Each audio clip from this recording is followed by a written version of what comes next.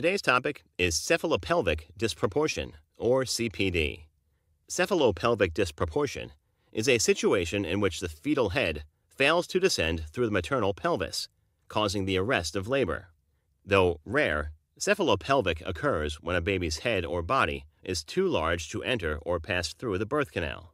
CPD accounts for one of the reasons why a woman's labor fails to progress to delivery, making a normal vaginal delivery difficult or nearly impossible to complete. Shorter women and adolescents are more likely to suffer from cephalopelvic disproportion. The American College of Nurse Midwives estimates that CPD occurs 1 in out of 250 pregnancies. A diagnosis of CPD does not mean that you will have the same problem with subsequent deliveries. A study published by the American Journal of Public Health holds that more than 65% of women with a previous diagnosis of CPD in earlier pregnancies were able to deliver vaginally in subsequent deliveries. Causes The possible causes of cephalopelvic disproportion include macrosomia. This implies that the baby is abnormally large. This condition may be due to abnormally high maternal sugar levels from gestational diabetes or diabetes mellitus. Hereditary factors post maturity, when a pregnancy extends past the due date. If the shape of the pelvis is too small or malformed. Abnormal fetal position. Small pelvis. This is very common in shorter women, heights of 150 centimeters and shorter. A previous case of pelvis disease or trauma may increase the probability of a small pelvis.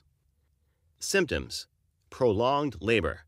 CPD may cause a situation where labor does not progress. Large fundal height. This is the distance from the mother's pubic bone to the top of the mother's uterus. This is the measure of the size of the uterus and can be used to assess if the child suffers from macrosomia. A higher volume of amniotic fluid. An amniotic fluid is a clear, slightly yellowish fluid that surrounds and protects the baby while in the uterus.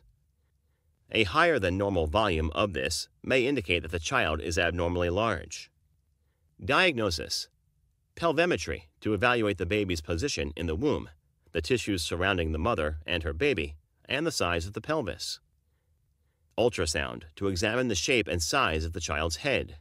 If the diagnosis suggests a case of CPD, a doctor will examine the woman for various risk factors, such as testing her blood glucose to check for gestational diabetes, and other risk factors associated with the condition. To monitor the well being of the abnormally large baby, the doctor may also conduct non stress testing. Treatment If CPD has been confirmed and a vaginal birth is not possible, the doctor will order a cesarean section or C section. If vaginal delivery is possible and C section would be harmful to the child, the mother may be asked to change her position. She may have to squat or assume another upright position. This can increase the pelvic capacity by 30%.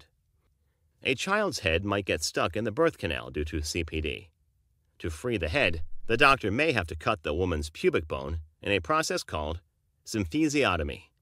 This is done during a vaginal birth. After a safe delivery, the child should be assessed for birth injuries and low blood sugar. As the child gets older, the child should be checked for CPD related complications, such as insulin resistance or obesity. Thank you for watching our video. Please do not forget to like and share the video. Also, please subscribe to the channel to stay updated on our latest videos.